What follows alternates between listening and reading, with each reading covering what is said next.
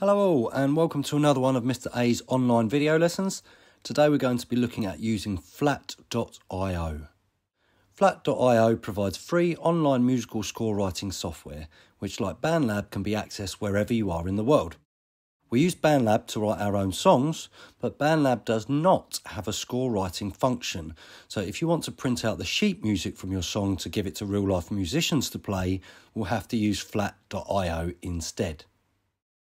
Firstly, open up your web browser and type flat.io in the address bar at the top of the page. It is worth making sure that we have the UK version of the site, so do click on the little flag in the top right here and change that to UK before clicking sign in. Now I'm going to click sign in with Google to use my normal school email and password and now that I'm logged in I can see all of my classes and I'm just going to click new score up in the top right corner here.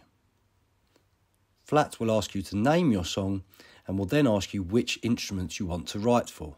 For today, I'm just going to add a grand piano track. If you add an instrument by mistake, just click on the minus icon on the right here and it will delete it off again. You can always add more instruments later, but for today we just want a grand piano track, so I'm just going to click create.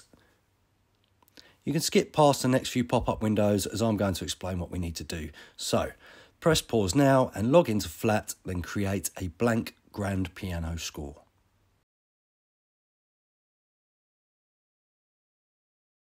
Today we're going to ask you to recreate one of the examples from our last lesson.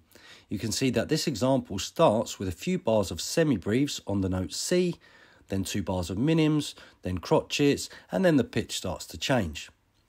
Do remember that we can use every green bus drives fast to give us the names of the pitches that are on the stave lines, and we can use the word face to remind us of the pitches that sit in the gaps between the lines of the stave. The first thing I'm going to do is change the tempo for my song by clicking on the metronome mark here and quickly changing it from 80 BPM to 60, then clicking save so my song plays a little slower. You can see the empty bar here has four crotchet rests in it already, but the first notes I want to use are semibreves. So when I click on semibreves at the top here, my four crotchet rests will change to a single semibreve rest at the bottom instead. Now I'm going to click my mouse on the stave at the gap for C and a C semibreve will appear.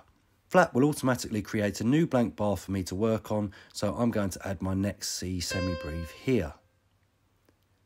The next two bars of the example are filled with C minims.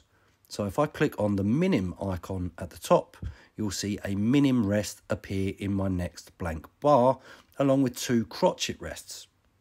Remember, semibreves last for four beats, minims last for two beats, and crotchets last for only one. So here I have a two beat rest and two one beat rests, totaling my four beats for the bar. I'm now going to click to add my C minims for the next two bars. If you accidentally click the wrong pitch by mistake, you can just click on the note and drag it up or down to where you want it to be. If you want to scroll around the song, you can use your cursor keys on your computer keyboard. So I'm going to hit left here to take my cursor back to the start and then press the play button up in the top left. Before I do that, I'm going to click on the metronome to switch it on and then you can hear your song playing back with the metronome click as it plays.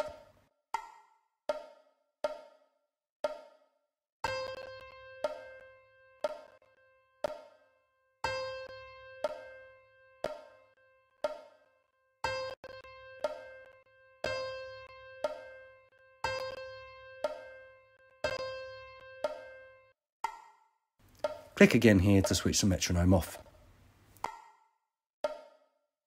Pause now and add the first few bars of semibreves and minims.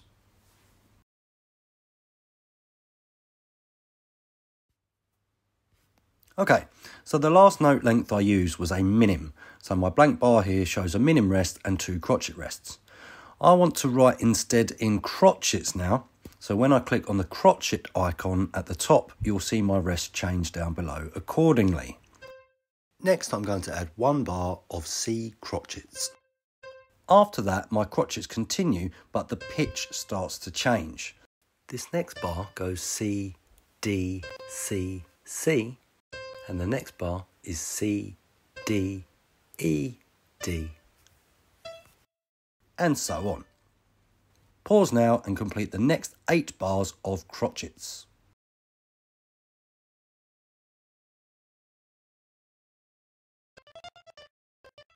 When I get to bar 13 now, I'm going to have to switch back to semi-breves for this high G note that sits right on the top of my stave.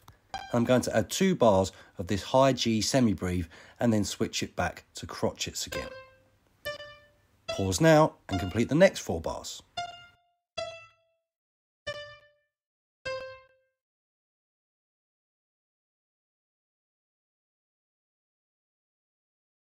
At bar 17, I'm going to have the high G semi-breve again, and then I'm going to change the rhythm up a bit more. So bar 18 has a high G crotchet on beat 1. Then on beat 2, I have a high A crotchet, which sits on the first ledger line above the stave. And then there's another high G crotchet on beat 3 of the bar. And for the last beat of bar 18, I want to include a rest so I'll click on quaver at the top here and you'll see my crotchet rest split into two quaver rests. I'll use my right cursor key on the keyboard to move over one note and then I'm going to click to add a quaver to the top F line on my stave, leaving that little quaver rest just before it. You should now find that you can continue to add the rest of the melody using what we've learnt so far. Again, I'm going to use my left cursor to rewind everything back to the start and hit the play button to listen back. It's always good to have the metronome on so you can tap your foot in time with the beat as you listen. Pause now and finish off the melody.